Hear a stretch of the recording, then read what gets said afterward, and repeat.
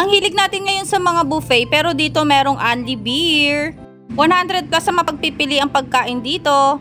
Samahan niyo ako ngayon dito sa Food Club Your Lifestyle Buffet. Located lang yan dito sa loob ng Ayala Malls, Manila Bay. Sa halagang 698 pesos, may enjoy mo na lahat ng food na gusto mong kainin. Marami silang mapagpipilian from international food hanggang Filipino food. At dahil mahilig nga ako sa Japanese food, talagang inuna ko itong mga tempura and maki. Alam nyo bang sobrang sarap ng tempura dito? The best din yung maki nila kasi gustong gusto ko yung Japanese rice na ginamit nila dito. And if bet mo naman ng mga soup like laksa, noodles, ayan, pwedeng pwede nyo rin yan ipagawa dito. And meron din silang taco station. Na-enjoy ko tong taco station dahil ikaw yung gagawa mismo ng tacos mo. And voila! So ito na yung nakuha namin. At syempre, first round lang to. So, ayan yung first bite ng aking kapatid and approve na approve agad sa kanya. And ito yung pinaka-highlight dito kapag may birthday ka. And if pasta gusto nyo, meron din sila. Vegetable and ayan, meron longganisa dito guys ha. Only yung longganisa dito.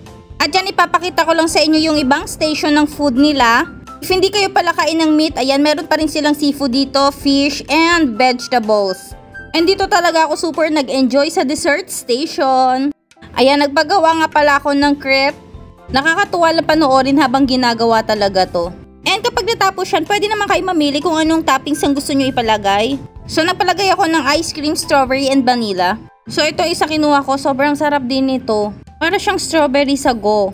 Siyempre, isa-isa ko rin tikman yung mga cakes nila. At talagang sobrang na-enjoy ko yung dessert guys. Meron kasi akong sweet tooth. Siyempre dito tayo sa station ng roast beef.